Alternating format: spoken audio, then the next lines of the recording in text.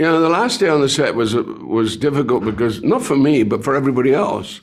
You know, going, oh, this is the last day. Oh dear, and I just said, well, it's the last day on the set. You know, upward and onward. You know, I mean, I've had a long and great career. I've been, I think, I'm one of the luckiest people ever to have the career that I've had. You know, I mean, really, the work that I've done over. I, you don't dwell on it, but you go, God, I played that and I played that, and I go, oh my God, I forgot I did that. You know, it's amazing. You look back, you go, thankful.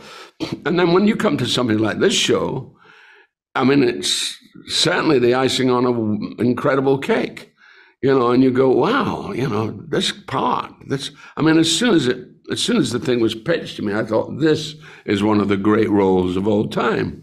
And I just have to keep my nose to the grindstone and make it work.